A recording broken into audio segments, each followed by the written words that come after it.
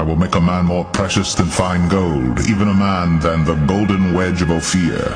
I will make a man more precious than fine gold, even a man than the golden wedge of Ophir. I will make a man, and that man is the Israelite man. It's all about the Israelite man at this time, and in the future, and in the kingdom. It's not about the woman. The woman has to take a back seat. She has to get in the back of the bus. It's all about the man. The Most High is working through the man. And what is fine gold? Gold is precious.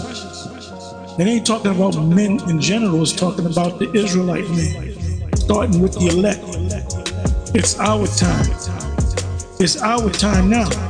The Israelite man's time that the Most High is going to raise us up through his beloved Son, Yahushua, and the elect.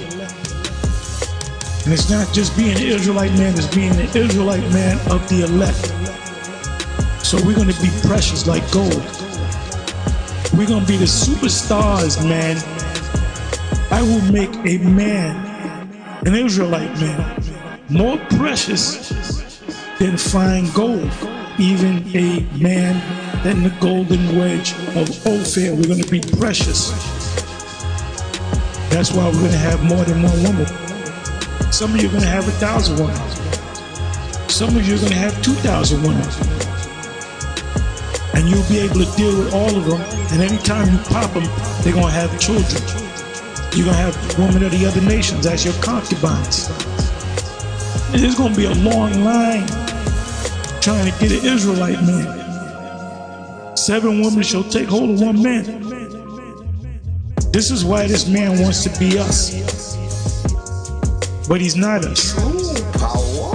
True powers. We're gonna know what it's like to have, to feel power, true power coursing through your veins, man. We're gonna be tapping into that infinite energy, man. Infinite energy, man. Something that Esau will never know. Here's looking at you, kid.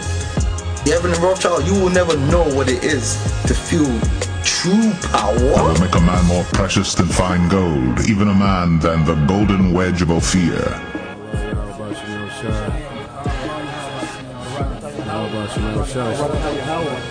Barakatah Yahawahshi. Barakatah Yahweh. Barakatah Yahweh. Barakatah Yahawahshi.